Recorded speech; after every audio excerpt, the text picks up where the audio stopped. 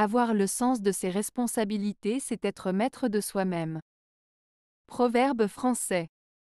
Le proverbe avoir le sens de ses responsabilités, c'est être maître de soi-même, signifie que prendre ses responsabilités et agir en conséquence démontre une certaine maîtrise de soi.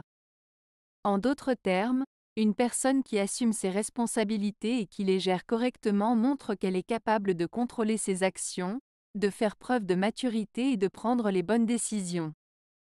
Cela implique d'être conscient de ses devoirs et obligations, et d'agir en conséquence de manière autonome et réfléchie.